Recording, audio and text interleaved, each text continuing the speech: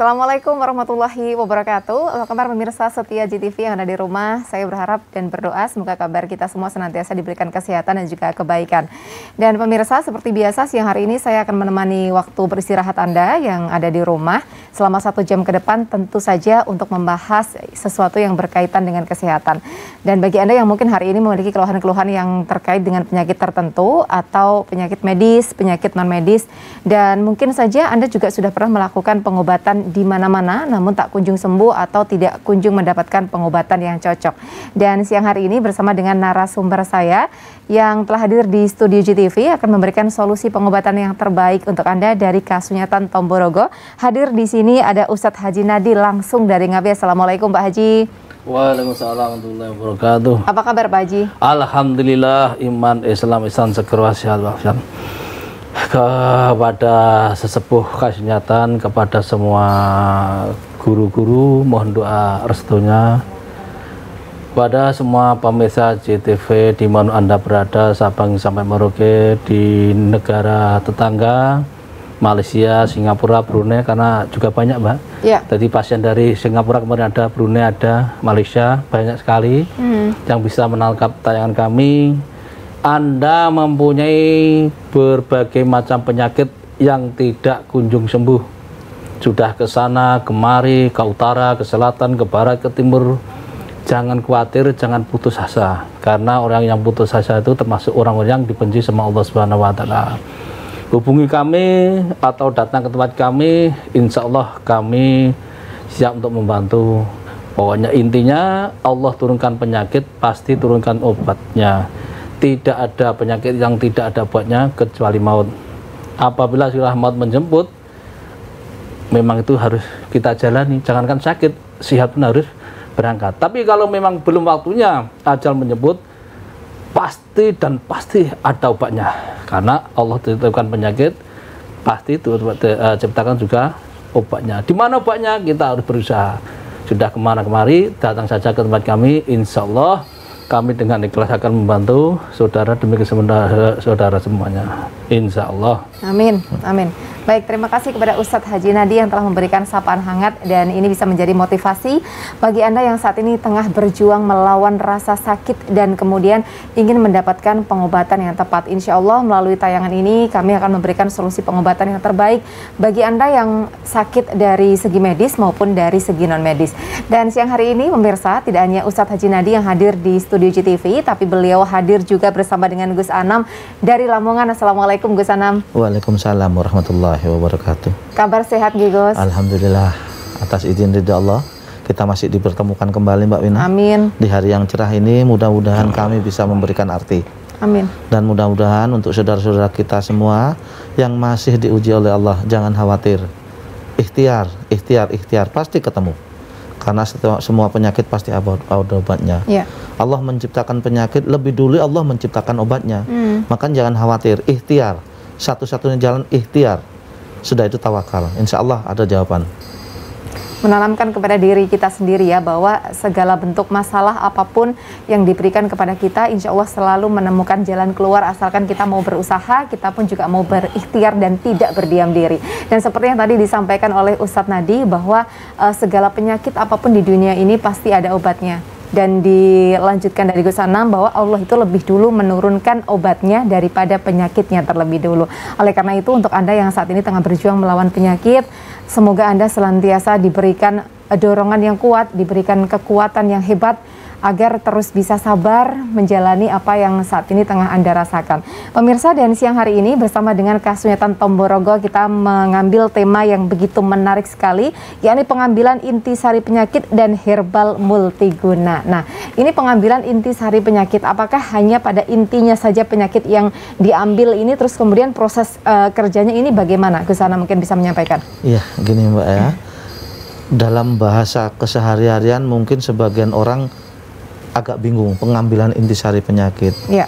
Tapi insya Allah itu familiar di, di saudara-saudara kita yang menyaksikan JTV ya. Nah, pengambilan intisari penyakit itu bukan bukan salah mengartikan diambil penyakitnya. Hmm. Kalau diambil penyakitnya kan saat itu juga dia harus sembuh ya, tanpa ya, betul. syarat. Betul. Nah, itu semua ketentuan dan wewenang Allah Subhanahu wa taala. Hmm.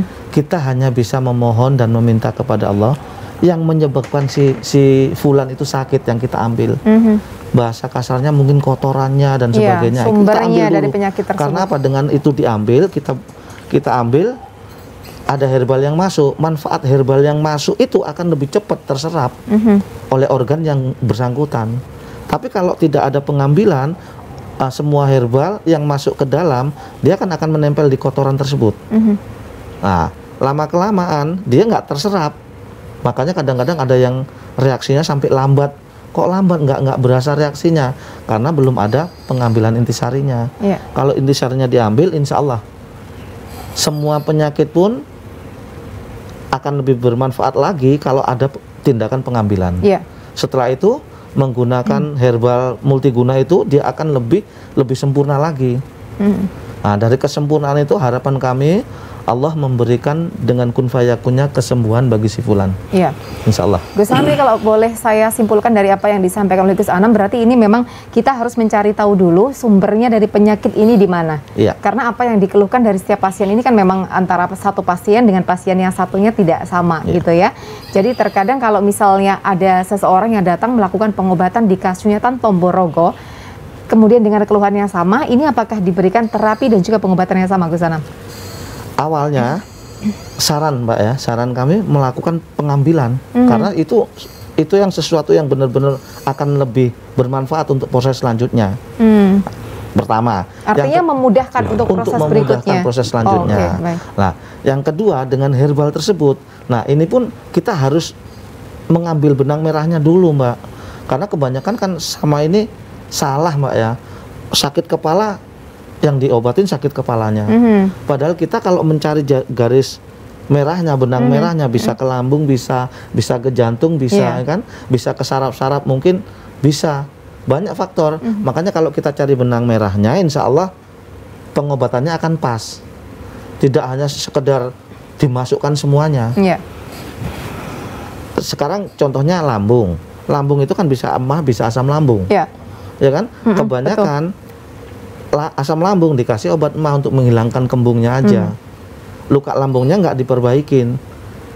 Saat dia minum dia enak. Di saat dia berpikir agak ekstra atau kecapean muncul lagi. Ya. Nah, kalau kita cari benang emasnya insya Allah tepat. Mm-hmm. Walaupun nggak dengan seketika insya Allah progresifnya akan lebih bagus. Ya. Artinya memang di sini tuh diberikan terapi pengobatan sampai dengan harus konsumsi uh, herbal multiguna ini semuanya harus tepat ya Gus yeah. Anam ya. Jadi untuk memudahkan proses pengobatan dari setiap pasien yang datang di Kasunyatan Tomborogo. Karena pemirsa seperti yang kita ketahui banyaknya pasien yang datang di Kasunyatan Tomborogo ini adalah mereka yang lebih banyak mengeluhkan penyakit-penyakit kronis daripada penyakit yang ringan. Betul Gus Anam? Betul. Dan biasanya sampai hari ini apa yang paling banyak dikeluhkan dari pasien yang datang ke uh, kasunyatan? Yang umum karena masyarakat kita kalau masalah kerja luar biasa Mbak ya. Betul. Untuk menghidupi keluarga, untuk mencapai iya. sesuatu yeah. itu mhm. gila-gila mm -hmm. benar kerjanya. Mm -hmm. Nah, itu kebanyakan saudara-saudara kita lambung yang bermasalah Mbak Pencernaan. Pasti di pencernaan itu yang bermasalah. Hmm, hmm. Itu yang saat ini yang paling banyak ke tempat kami. Betul. Yang kedua jantung. Karena dengan situasi yang kayak gini otomatis spot jantung bahasa kasarnya itu spot jantung, yeah. kanker tumor itu yang yang hmm. selama ini masih masih mendomisili hmm. dan her, uh, diabetes itu yang paling utama. Yeah. Yang paling banyak iya, ya. Yang paling betul, banyak. Betul. Karena uh, di negara sendiri kita ini Indonesia diabetes sudah menduduki peringkat ke-7. 7. Nah, itu pada tahun 2014. Kalau sekarang kita berharapnya memang uh, mendudukinya justru peringkatnya lebih lebih tinggi lagi gitu. Ya. Tapi kan uh, tidak menutup kemungkinan bahwa ternyata uh, urutannya itu bisa menjadi lebih rendah gitu. Iya, harapan Baik, begitu. pemirsa nanti kita akan sambung kembali untuk berbincang hangat bersama dengan kedua narasumber saya dari Padepokan Kasunyatan Tomborogo. Jangan ke mana-mana, kita kembali usai jeda.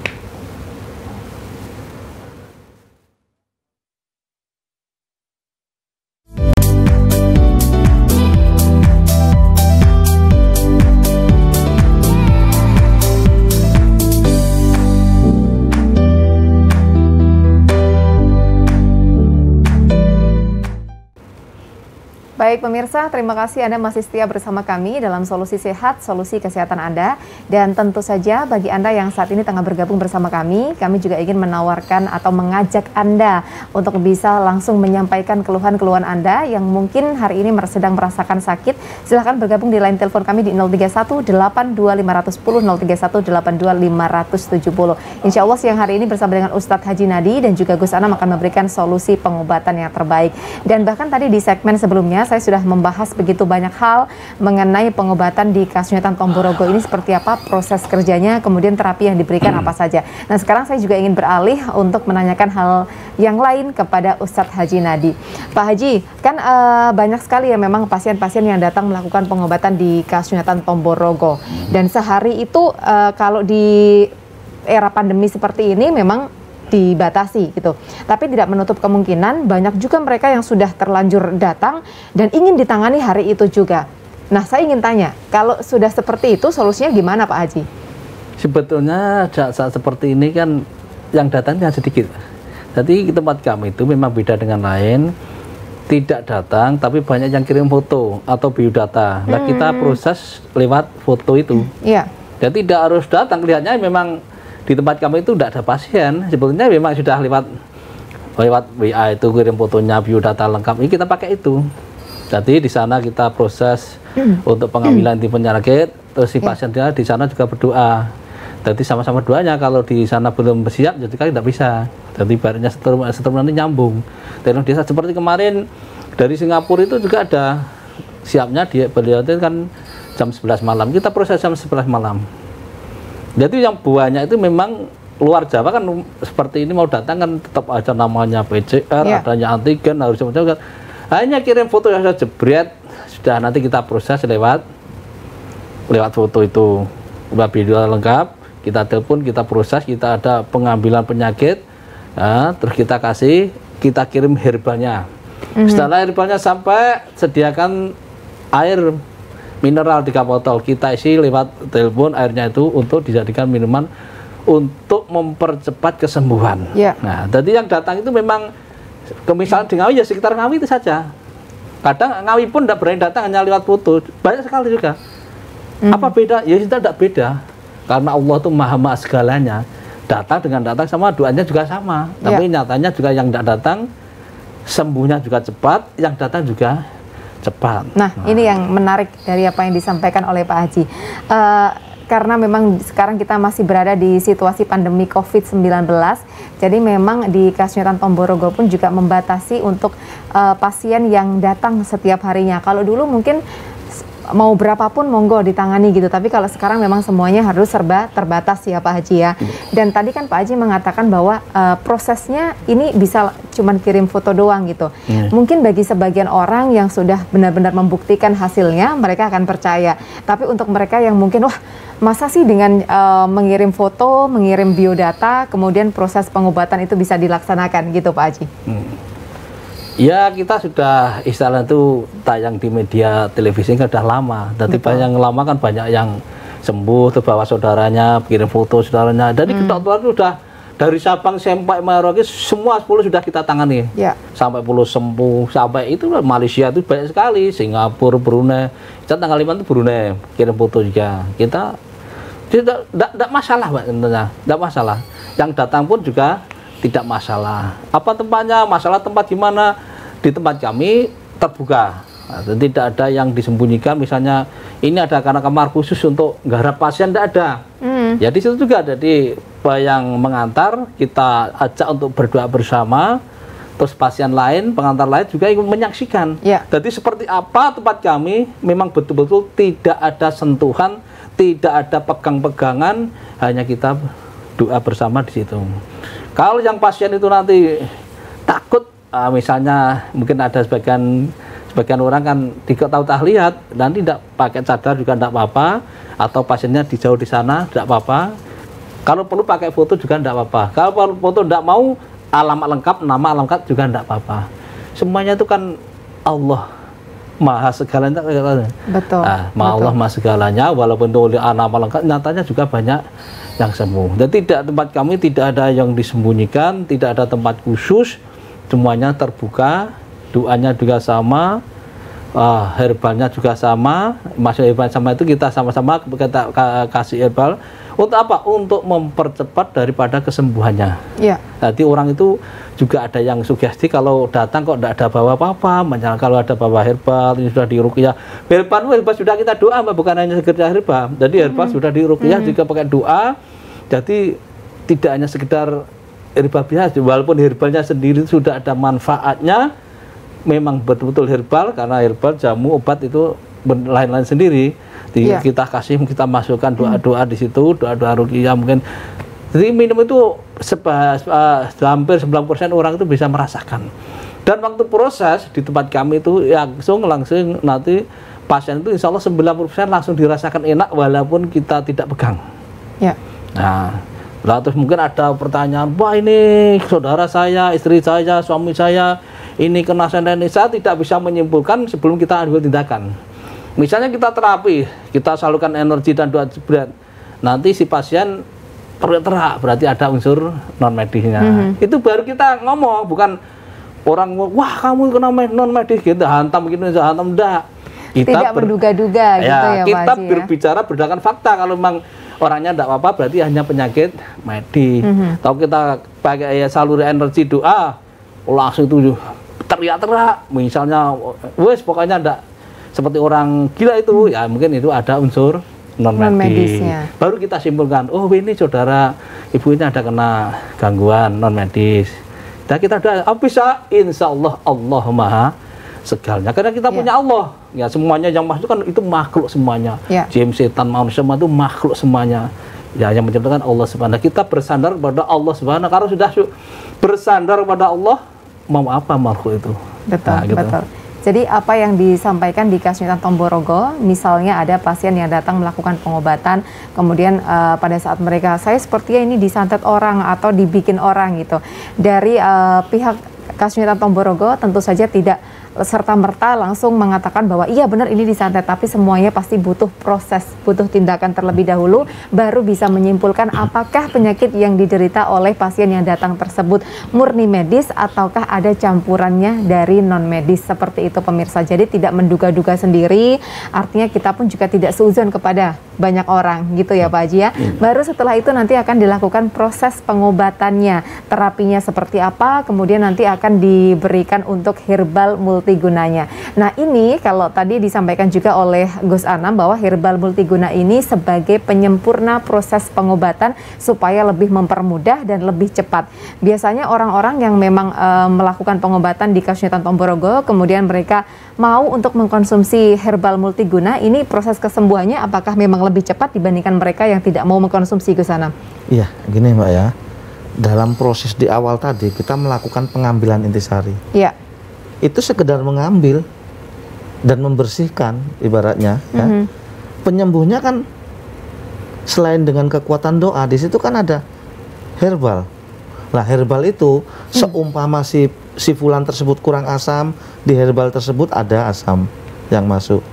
Oh si si fulan tersebut kurang basah, ada basah masuk. Oh si fulan itu ada luka di lambung, si fulan bisa mengeringkan. Ah, mohon maaf, herbalnya bisa mengeringkan. Jadi setiap kekurangan pada si fulan si penderita herbal kita akan bisa memberikan kekurangannya mm -hmm. jadi semua orang kalau kekurangannya sudah terpenuhi dan tertutupi insya Allah kan jadi sempurna mbak ya yeah.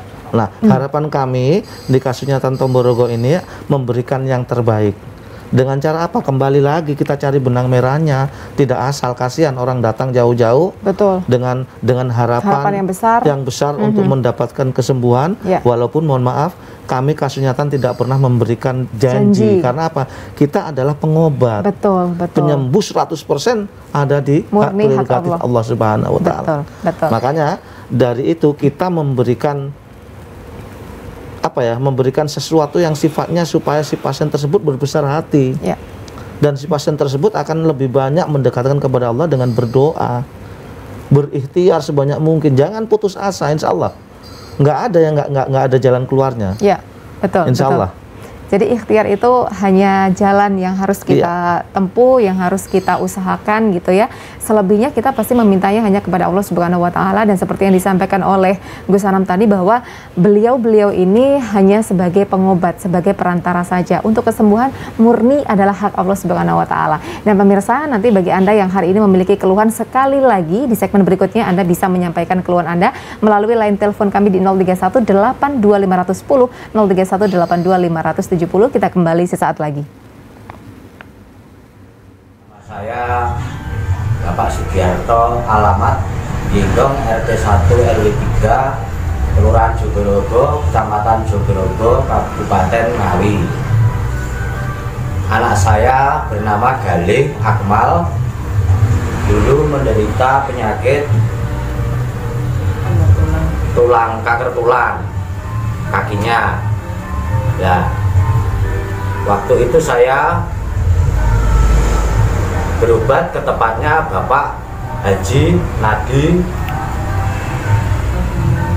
Alhamdulillah sampai sekarang anak saya sembuh. Tidak jadi operasi. Dulunya waktu itu kata dokter kaki anak saya mau dipotong.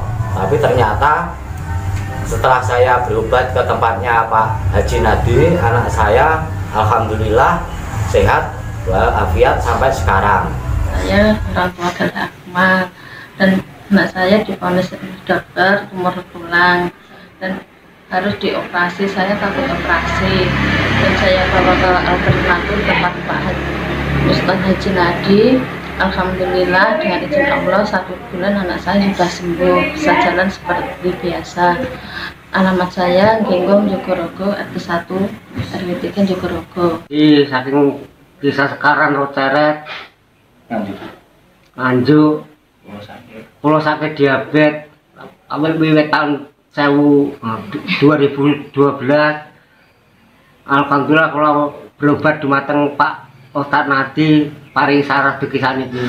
Saya Herianti desa dari desa Sidorejo RT 40 RW 5 saya dulu sakit kanker getah bening yang ada di perut Alhamdulillah sekarang sudah sembuh berobat ke Ustadz Nadi Nami kulo Sumina Beliau kulo Nawi Purda RW 1 RT 1 Kulo gadah penyakit kolesterol kali jantungnya bengkak. Sak kula sak dereng pun Pak Nabi. Usah langsung rumah sakit kula jubat ini Pak. Nabi sampun boten boten pun boten teng anu teng dokter. Pun boten teng dokter. Sakniki alhamdulillah. Jantung kula anu penyakit kula pun mabrur kali Pak Nabi coba nyoba kali terapi Nama Taminem alamat Rejo Mulyo RT 8 RW 1 Kecamatan Barat Kabupaten Magetan.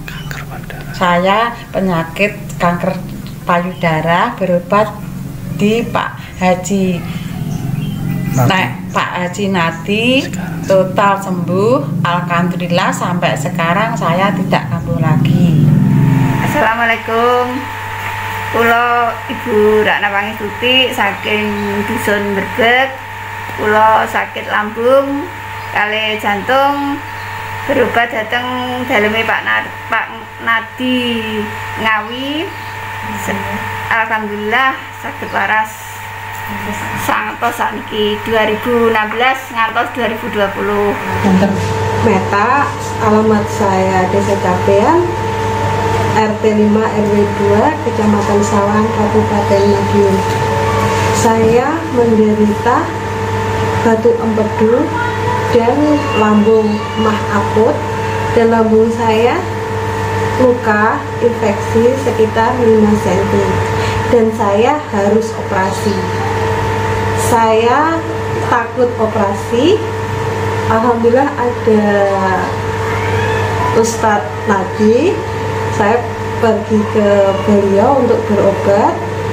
Uh, atas izin Allah saya sembuh sampai sekarang mudah-mudahan sampai seterusnya. Amin. Nama saya Faiz Yudanamidi saya alamatnya RT 3 RW 2 Semanding Jenangan Perogo saya menderita sinapsis epilepsi. Setelah itu saya berobat ke Pak Nadi Ngawi. Alhamdulillah saya bisa sembuh sampai sekarang. Nama saya Vita dari Sukawiti. Saya menderita tumor payudara. Tapi setelah berobat ke Ustadz Haji Nadi Alhamdulillah sekarang sudah sembuh dan tidak kambuh lagi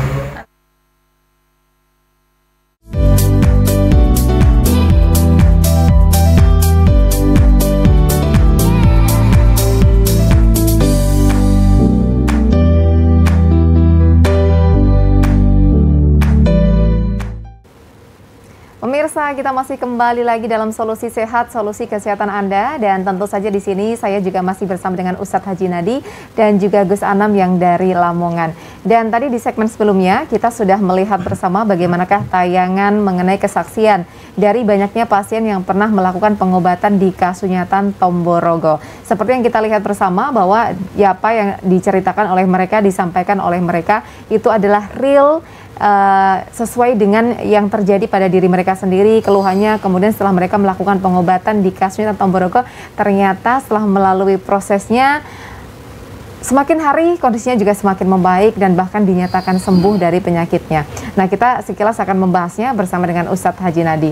Pak Haji, uh, dengan tayangan yang sudah kita tampilkan dan sudah kita saksikan bersama dengan pemirsa Setia GTV, saya yang ingin saya tanyakan adalah berapa waktu yang dibutuhkan eh, rata-rata uh, untuk hmm. proses uh, pengobatan dari mereka yang datang tadi?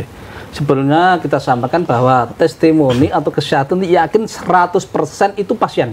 Ya. Bukan bohong saya, bukan beli orang, tapi 100% itu pasien yang betul. Ya. Yang pertama dari Mas Gali itu sebenarnya itu kembar itu kembar hari ini misalnya datang hmm. besok itu harus operasi. Hmm. dipotong kakinya ini Sakit amputasi. apa itu Pak? Kanker di sini bilangnya. Di, di. Kanker di lutut. nah, saya tempat datang itu belum sekolah ini sudah kelas 3 ya itu sudah tepat dibopong ini. Terus dia ibunya juga nangis nangis terus kita adakan proses pengambilan intisari penyakit. Kita doa kita kasih banyak air air uh, Tirto Tomborogo. Dua hari datang itu anaknya sudah lari-lari Alhamdulillah, Alhamdulillah tidak jadi tidak dioperasi. Tidak jadi dioperasi. Nah, terus selanjutnya saya kita yang kita ingat itu Butaminem dari Karamojo. Mm -hmm. Itu datang waktu itu maghrib. Setelah maghrib kita proses itu payudara sudah pecah, sudah mengeluarkan air sudah pecah. Sudah mengeluarkan nanah. Iya nanah. Ya. Hmm, terus mm -hmm. setelah maghrib kita proses adakan pengalihan, pengambilan intisari penyakit. Uh, terus besoknya beliau itu di labkan, dicekkan dokter, ternyata disangka sudah sudah negatif. Hanya semalam. Kekuasaan Allah hanya semalam. Betul. Semuanya tidak akan pernah terjadi kalau tidak ada campur tangan dari Allah Subhanahu wa taala. Betul sekali. Kita hanya mohon tapi Betul. Allah memberi kesembuhan Betul. lebih cepat dari perkiraan, ya. Terus yang dari Madiun Bu, seperti Bu Meta atau berapa itu eh lembunya sudah sampai 5 3 5 cm mau operasi mm -hmm. juga mhm. takut. Mm -hmm. Ini nih tidak ada dua minggu telepon saya sudah sembuh total termasuk yang dari Nganjuk ada asam lambung sampai kena jantungnya mm -hmm. dua rata-rata dua minggu Pokoknya kita kita kita biasa sama pasien apabila dalam satu bulan itu tidak sembuh harus pasien banyak-banyak istighfar. Betul. Banyak-banyak istighfar termasuk yang kena dari ngawi purba.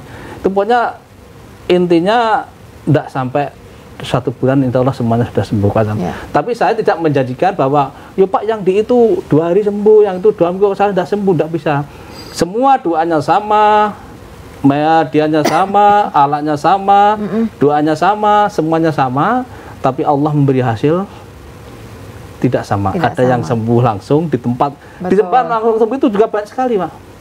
Cuma tidak, tidak bisa dijadikan patokan. Misalnya saja secara formalitas, Mbak Wina kena flu, mungkin saya kena flu, mm -hmm. Mbak Wina ngombe obat flu satu kali sudah sembuh. Ya. Saya satu tablet tidak sembuh pada sama. Pada sama. Allah berikan ya seperti seperti itulah tentunya.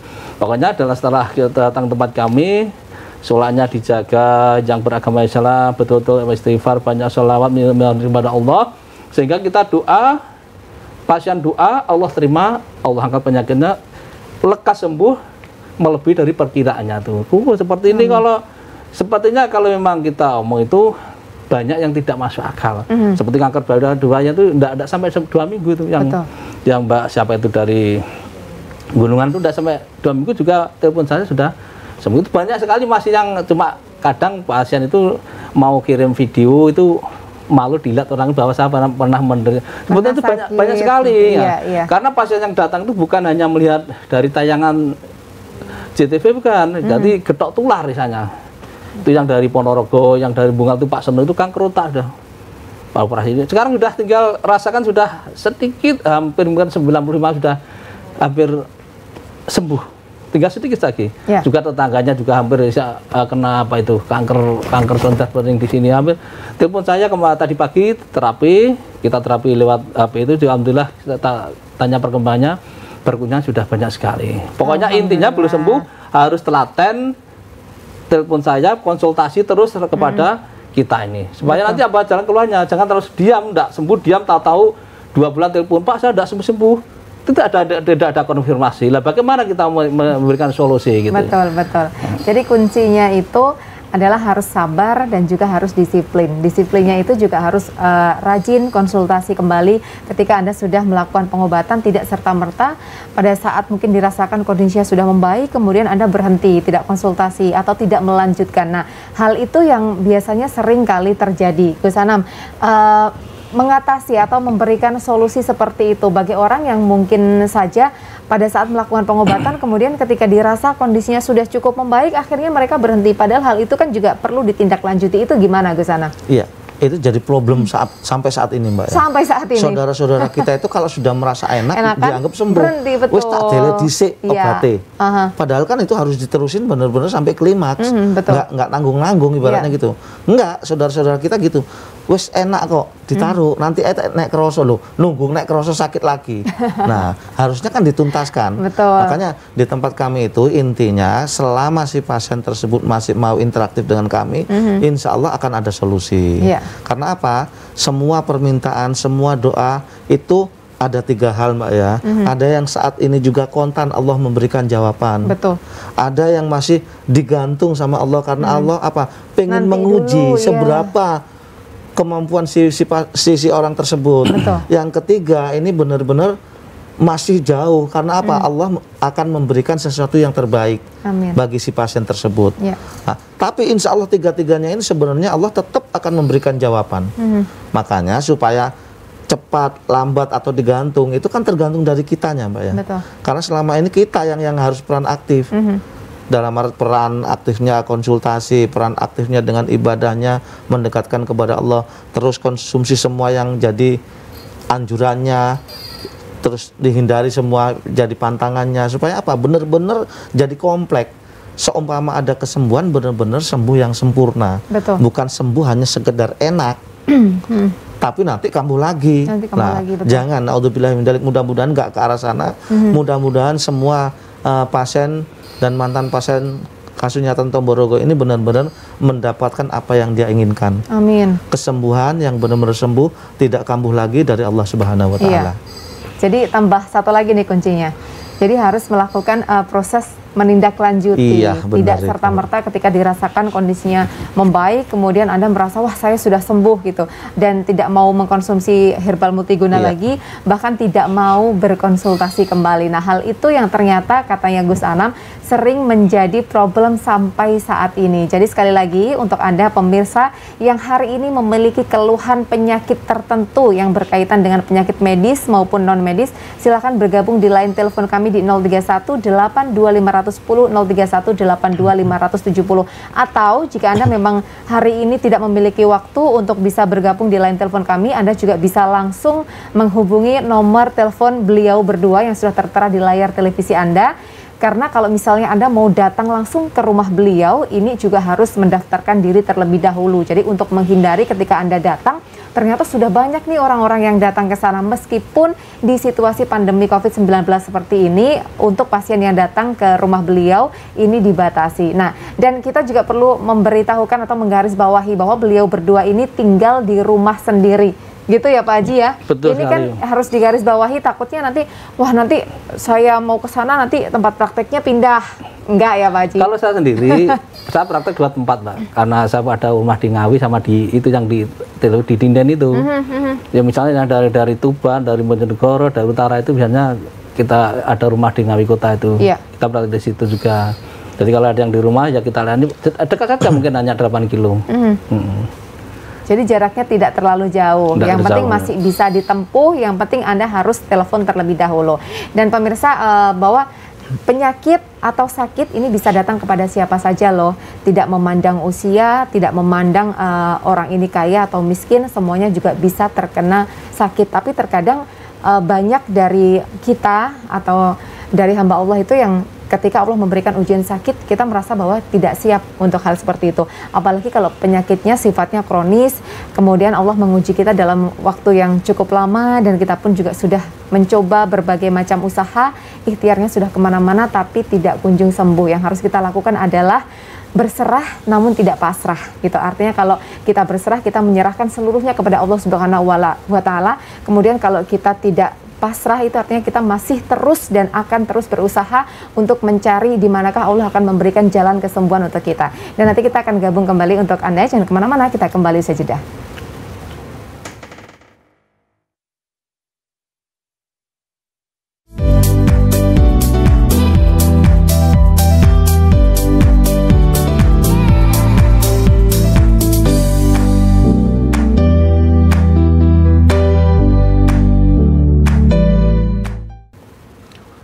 Pemirsa, menjadi sehat itu pilihan, namun memiliki tubuh yang sehat tentu ada hal-hal yang harus kita usahakan. Misalnya, dengan rutin mengkonsumsi makanan-makanan yang sehat, kemudian cukup istirahat, kita pun juga tidak melupakan olahraga meskipun di sela-sela kesibukan kita. Karena yang seperti kita tahu, banyak sekarang ini orang-orang yang beralasan ketika mereka harus olahraga dengan alasan sibuk tidak punya waktu. Padahal satu hari ada 24 jam dan kita bisa menyisikan 30 menit sampai dengan satu jam hanya untuk bisa berolahraga dan badan kita bisa sehat kembali gitu.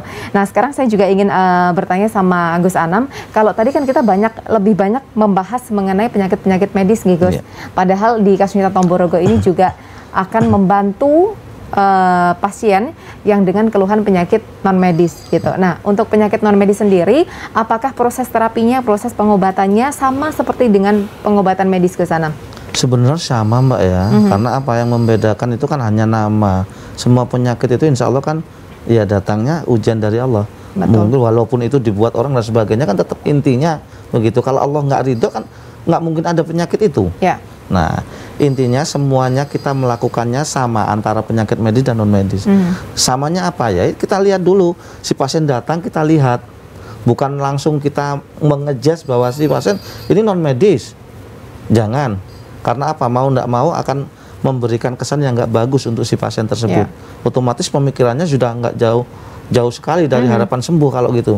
Kalau sudah dibenturkan ke non medis semuanya seolah-olah nggak ada titik ujungnya. Mm -hmm. Nah itu semuanya kita kita lakukan dengan cara yang sama. Kita lakukan pembersihan. Ya, karena setiap orang yang kena non medis nggak jauh nggak jauh mbak, tetap pencernaan jadi problem.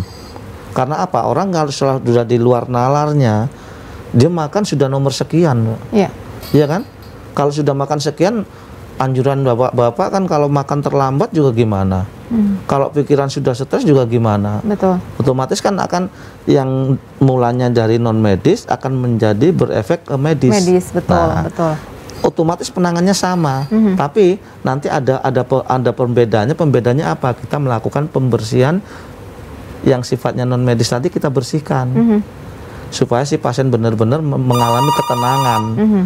dan bukan mengalami ke kepanikan. Kalau semakin dia panik, betul, betul. keluarganya juga semakin panik. Stres. Nah, benar. Kalau semakin stres ya. justru bisa menimbulkan penyakit baru lagi dan itu hal-hal yang harus dihindari. Ada satu penelpon yang sudah bergabung di segmen ini. Halo, Solusi Sehat, selamat siang.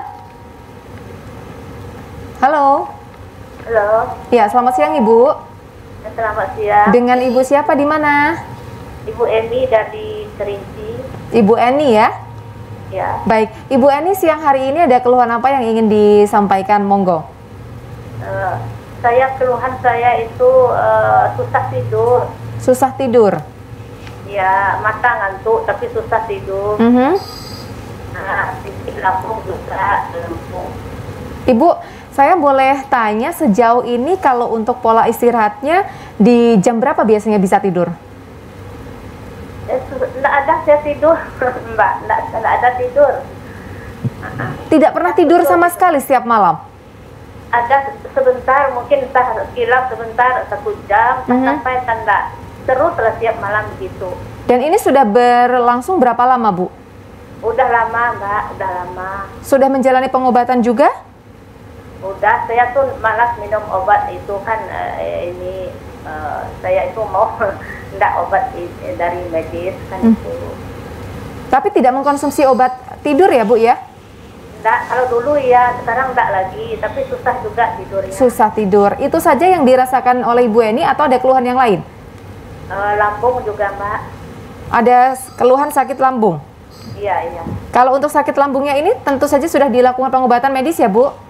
Udah, Konsumsi obat sampai sekarang? enggak lagi, enggak, udah ada, tapi sekarang enggak enggak lagi, tapi sering eh, muncul juga. Iya, baik. Langsung saya alihkan kepada narasumber saya siang hari ini, Ge, Bu. Monggo Ustadz Nadi. Yang dirasakan apa Bu sekarang Bu? Sekarang ini eh, enggak, eh, sakit lambungnya enggak ada, cuman saya ini ngantuk terus siang hari. Ngantuk terus siang hari. Nah, Ya, kalau udah ada keluhan nanti saja nanti Ibu setelah tayang ini konfirmasi ke dengan kita, ya Bu. Nanti kita kasih saran-sarannya, ya. Nanti karena penjelasannya panjang nanti sini tidak cukup waktunya Bu ya. Nah, setelah tayang nanti Ibu nanti hubungi kami, Ibu pilih yang mana saja. Gitu Bu ya. Hmm, tapi Sudah jelas, Bu Eni? Hmm, Kalau Ibu masalah perutnya ada masalah kita terapi dari sini bisa insya Allah.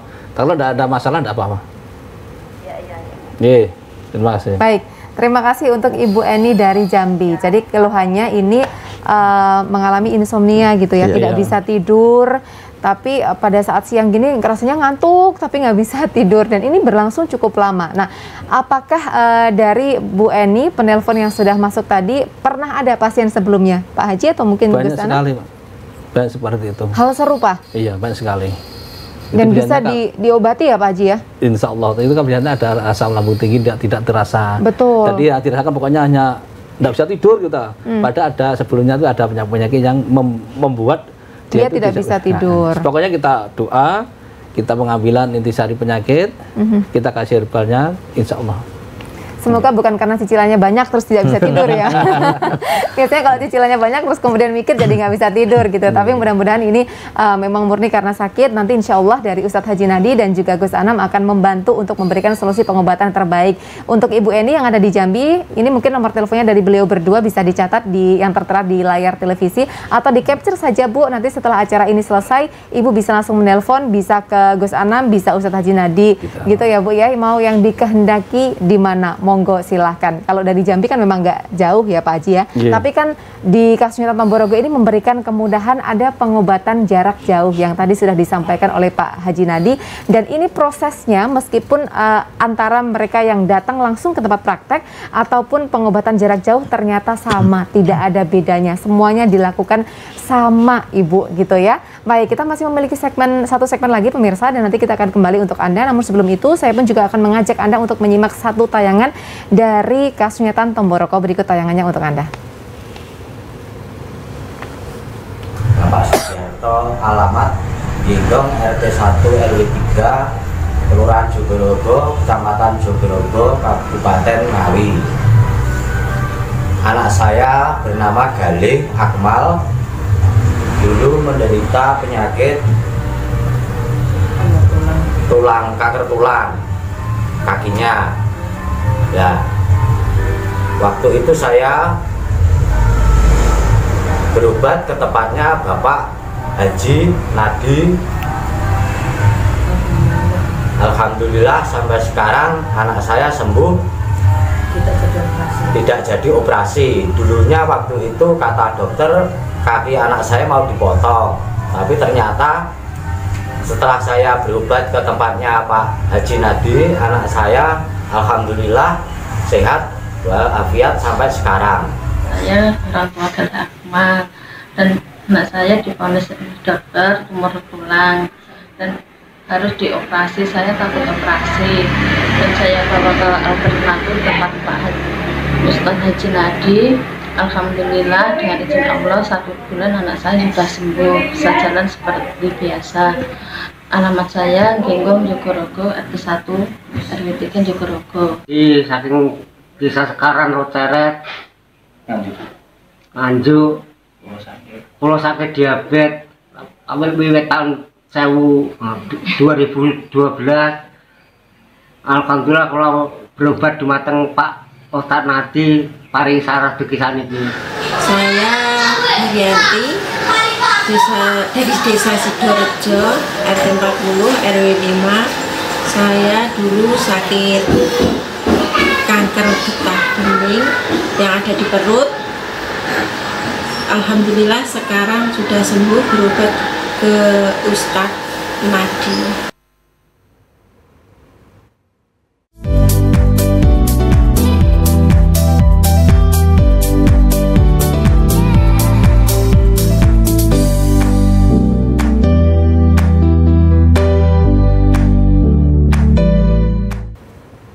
Pemirsa, sudah begitu banyak hal yang tadi saya uh, tanyakan kepada narasumber kita siang hari ini, baik Gus Anam maupun Ustadz Haji Nadi. Nah, namun ada juga yang uh, tadi belum sempat saya tanyakan kepada beliau, dan ini akan saya tanyakan kepada Gus Anam. Gus Anam, hal-hal apa saja yang sebenarnya perlu kita perhatikan selama menjalani pengobatan? Pertama, rileks, tenangkan pikir. Betul, itu harus nah, ya. Dengan ketenangan pikir, satu-satunya jalan kan kita mendekat kepada Allah. Betul tenangkan pikir. Yang kedua jaga pola makan. Mm -hmm. Makanan itu harus benar-benar tubuh kita sekuat apa pun, kalau nggak ada makannya tetap nggak mungkin bagus. Pemah. Ya. Yang ketiga tadi kan sudah ada pola pikir dengan mm -hmm. tenang, santai ya. Mm -hmm. Yang kedua pola makan. Yang yang pola hidup dalam artian pola hidup itu kita nggak usah apa ya nggak usah terlalu banyak memikirkan yang ekstrim Betul. lah istirahat yang jangan ya, memikirkan yang tidak perlu dipikir. Iya, yang, yang ada di depan kita itu aja yang kita pikirkan. Iya, betul. Nah, terus istirahat yang yang cukup. Insya Allah semuanya semuanya akan berkaitan mbak ya. Kita kembali kayak tadi kan ada Bu Bu Eni katanya hmm. kan mbak ya. Hmm. kita kembali lagi Bu Eni. Itu kan tadi nggak bisa tidur. Nah nggak bisa tidur kalau nggak dicari benang merahnya tetap dia akan mengkonsumsi obat iya, tidur terus. betul. Padahal setelah di terakhirnya dia bilang ada pro problem di pencernaan atau lambung. Mm -hmm. Memang keterkaitannya besar sekali. Yeah. Selama lambung kita bermasalah, asam lambung semakin naik, otomatis oksigen yang ada di dalam otak kita juga berkurang. Mm -hmm. Untuk tidur gimana? Susah. Berarti ini yang harus diperbaiki adalah lambungnya. asam lambungnya terlebih uh, uh. dulu. Karena ini contohnya yang paling gampang. Orang habis makan kenapa ngantuk? Mm -hmm. Karena di situ kan oksigen yang yang terbawa darah ke otak cukup, ya. bahkan berlebih. Jadi mudah ngantuk. Mm -hmm. Tapi kalau oksigennya kurang yang ke otak, otomatis susah tidur. Ya. Nah, jangan sampai kejadiannya akan ketergantungan dengan obat-obat yang sifatnya untuk memicu kita untuk semakin tidak bagus mm -hmm. untuk tubuh. Ya. Lebih baik cari jalan yang terbaik. Insya Allah kasusnya Tanto akan membantunya. Memberikan solusi Insya gitu ya. Apalagi kan uh, di Retno Borogo ini memberikan kemudahan bagi mereka yang rumahnya jauh, tidak satu lokasi tinggal di Ngawi ataupun di Lamongan, pengobatan tetap bisa dilakukan dengan uh, proses pengobatan jarak jauh. Dan ini juga banyak yang berhasil loh pemirsa. Jadi Anda tidak perlu khawatir lagi dan uh, enaknya lagi ini juga tidak akan menghabiskan biaya yang banyak. Ya. Coba kalau misalnya kita harus datang ke tempat praktek, berapa biaya yang harus kita keluarkan. Oleh karena itu di kasus Nyata Borogo ini memberikan kemudahan bagi Anda yang rumahnya jauh agar bisa melakukan pengobatan tapi dengan proses jarak jauh. Karena seperti yang disampaikan oleh Pak Haji Nadi bahwa ini proses pengobatannya semuanya sama gitu. Yang penting adalah gimana cara kita agar kita terus bisa berusaha, kemudian sakit yang kita rasakan perlahan-lahan nanti kondisinya akan semakin membaik dan kita bisa sembuh gitu ya. Hmm. Baik, kalau Pak Haji uh, dengan tema kita yang begitu menarik sekali siang hari ini Pak Haji, apa pesan yang ingin disampaikan kepada pemirsa setia GTV?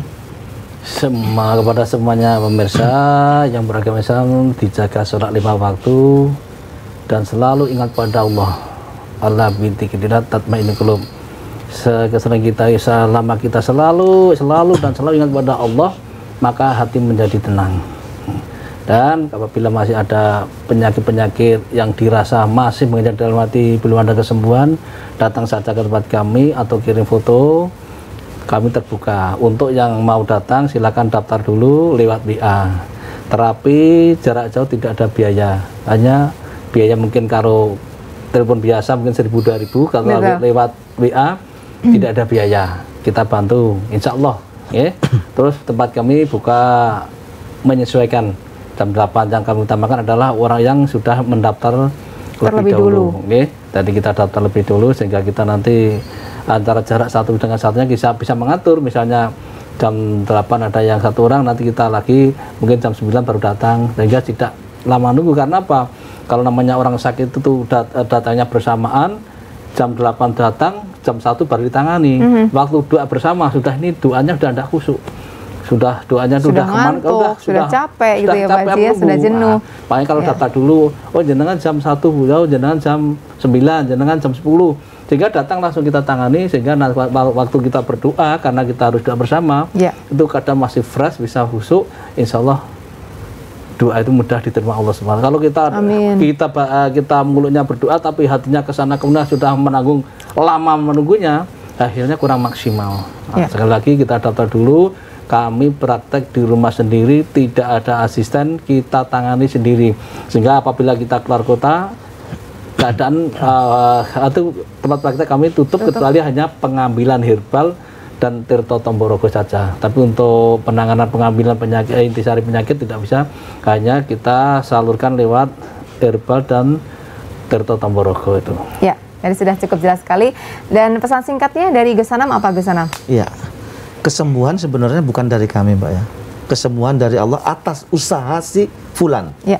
Selama si fulan mau berusaha, insya Allah Allah akan memberikan jalan.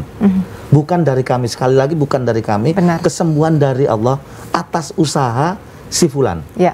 Itu yang garis bawain. Karena apa? Nggak ada sesuatu kesembuhan apa pun di luar campur tangannya Allah Subhanahu Wa Taala. Insya Allah kalau itu meyakini, insya Allah akan ada jalan keluar. Dan tidak ada usaha yang mengkhianati Iya, hasil. benar. Ngoten nggih Gus Anam ya. Baik, terima kasih banyak untuk siang hari ini Gus Anam, Pak Haji juga terima kasih. Semoga apa yang sudah kita bahas siang hari ini kita sampaikan kepada pemirsa setia GTV dapat memberikan keberkahan, dapat mendatangkan manfaat yang begitu besar Amin. terutama untuk Anda yang hari ini memiliki keluhan-keluhan penyakit tertentu, silahkan langsung datang berobat di Kasunyatan Tomborogo. Alamat juga nomor teleponnya sudah tertera di layar televisi Anda. Akhir kata, saya Bina Sakira pamit undur diri dari hadapan Anda. Sampai ketemu di lain kesempatan. Wassalamualaikum warahmatullahi wabarakatuh. Waalaikumsalam warahmatullahi wabarakatuh.